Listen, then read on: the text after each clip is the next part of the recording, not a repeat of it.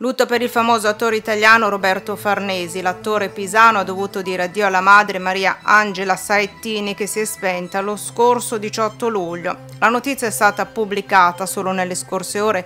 La donna si è spenta esattamente il giorno prima del compleanno del figlio che ha compiuto 52 anni proprio il 19 luglio. Angela Saettini avrebbe compiuto 83 anni ad agosto e al momento non sono state chiarite le cause del decesso. Farnesi ha preferito rimanere in silenzio in questi giorni di dolore.